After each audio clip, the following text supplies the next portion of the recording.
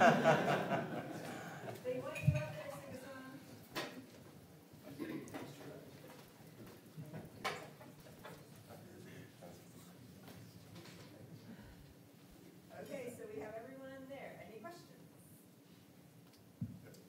the, on the automatic braking, emergency braking, if, they showed on the back of the automatic braking if your foot is on the brake, does that disengage the automatic braking?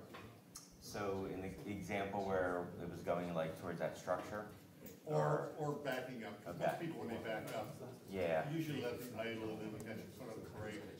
yeah. And if a vehicle's coming, if your foot is on the brake, um, will the, will it still? I mean, No, it because just you has as to a be- driver- Even if it's just kind of resting there, it's Yeah. got, it's got to, uh, Yeah, it's, um, it, it's really, and it, if, it, our systems typically look at if you wind up having any input from the driver, whether it be a steering input with some systems or braking, the intent or understanding by the vehicle is that, you know, you're controlling it. so it will disengage. Yeah, yeah. Who do you partner with on the safety systems? Are you using Continental or Autoliv? Uh,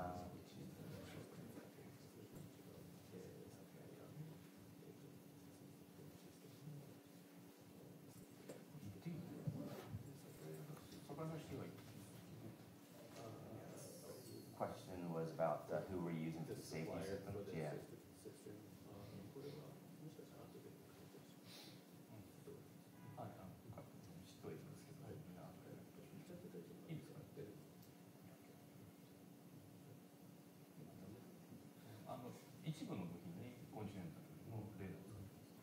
Uh, part of the uh, components we do use Continental, but uh, yeah, I mean,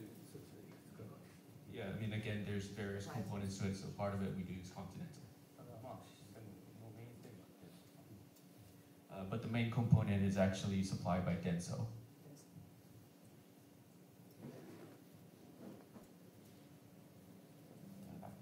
Um, for the pedestrian, uh, avoidance situation, does that assume a stationary pedestrian, or will the car react if it's a moving pedestrian left or right?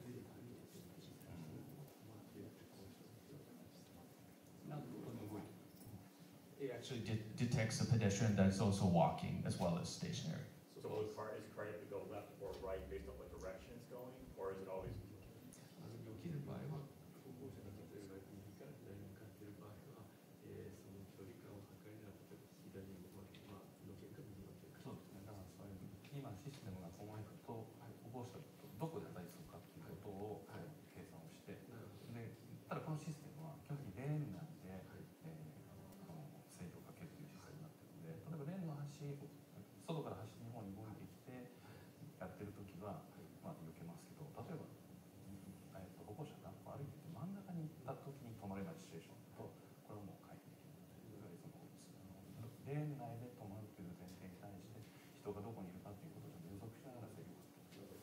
So basically, uh, the key point is the system basically uh, will function within the both lanes. So uh, at any given time, it basically will try to stop within the, the lanes on the right and the left side.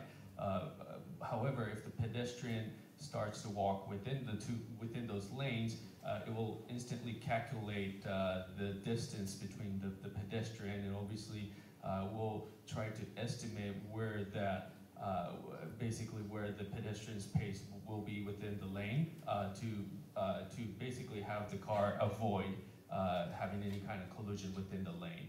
So basically, again, it calculates the distance uh, of the collision and, and will do the best to basically avoid uh, having any kind of collision with the pedestrian. I think the question was, though, will the car turn left or right? So that's So, coming from the left exact- side. Right.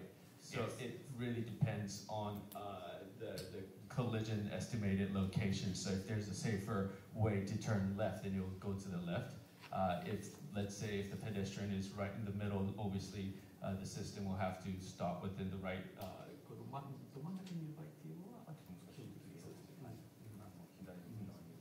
yeah, so basically it'll calculate the average on, on the best possible scenario to whether weave to the left or the right, if it's if the pedestrian is supposed to stop at dead center, or if that's the calculation then uh, once again, that, that's a difficult scenario, but again, uh, it will basically calculate, basically to avoid in best case scenario, uh, given within the lines.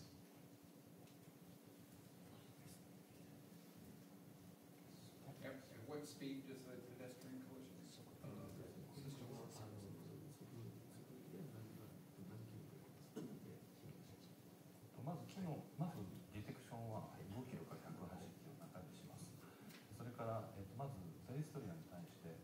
自動でブレーキで止まり切れるんです。これは大体60キロです。で、60キロから大体70キロぐらいの間で、もう要はえ止まらないときに、さっき言ったあのレーン内に回避スペースがあれば、えっとこう切れそうです。最初は0から180キロ。5キロから180 So uh, the, the, basically the system will operate anywhere between from five kilometer up to 180 kilometer. Um, and then uh, basically to be able to uh, uh come to a complete stop, uh, the, the function will begin from 60 kilometers below.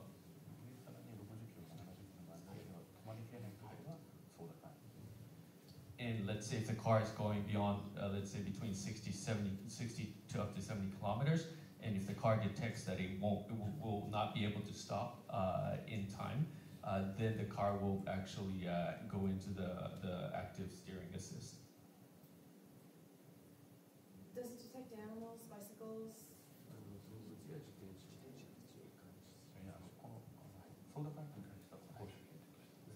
Uh, as far as the active steering assist, it's uh, mainly for pedestrians.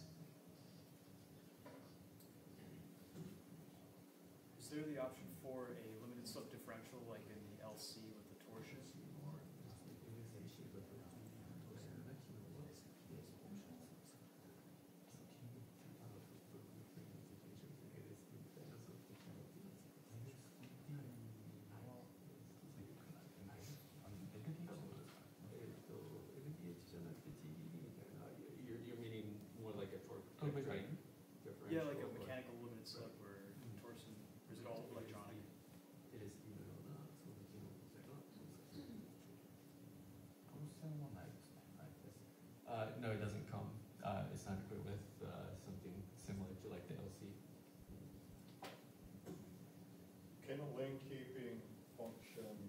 recognize snow at the edges of the lane?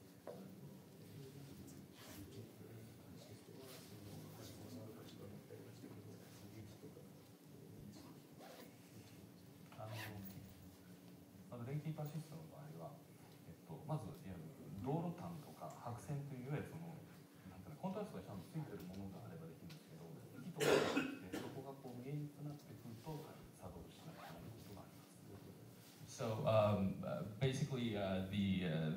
monitors the line as well as the contrast in different surfaces.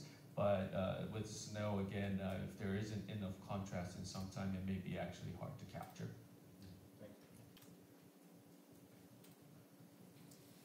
Are there any other questions? Joe? Is that a question? Um, I, I can ask later. Okay, well, and that's a very good segue. So all of our engineers will be out at Skywalker Ranch all day, standing there waiting